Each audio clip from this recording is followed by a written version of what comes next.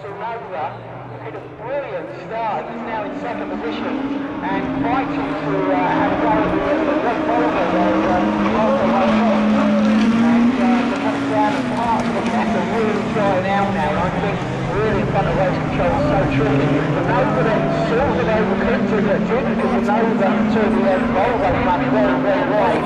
And as they're going up towards the the Nova's hot on the heels of uh, Marco Martens is really making it work for it. Stuart there is there in about uh, fifth place, I think.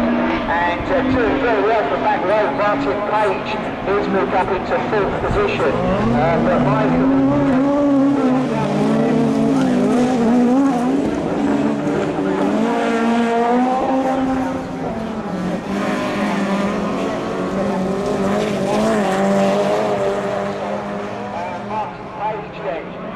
Joker Act's going to over and done with the first three still have the Joker Act to do. But uh, Marco Marquez back to At the moment they have a 1.7 second lead. But look at the battle of the back here between George and uh, Martin. They were side by side through uh, Chessons, but they managed to suit south out George slightly ahead at the moment. Um, but remember his first three still have to shoot off to the left as they go off the main start line and uh, that's what they call Canterbury Straights. So into paddock down to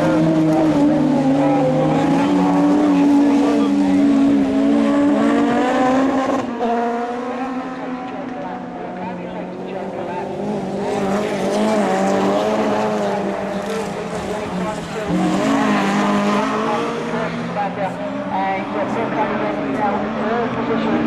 But Michael still has to shake the match too. It's sorting himself out behind now and uh, the uh, Stuart Edwin Peugeot team is uh, doing very well and holding on to that position. But let's not this note there in third position, taking off the top European drivers and he's fighting his life out there. He's really putting as much effort into this as they can. They want to show us Brits can do it as well. Maybe they don't have the full pound equipment, but they're not letting us down whatsoever.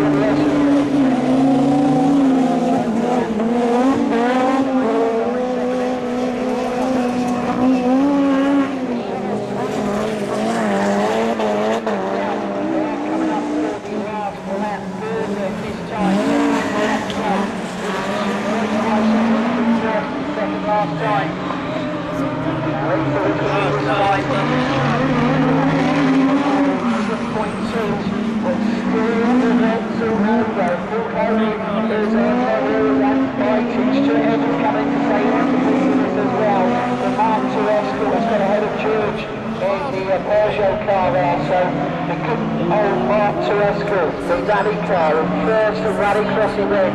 I'm sure if you go under a big smile on his face today, I'm sure we'll see back there, and if not other rally cross circuits as well. So,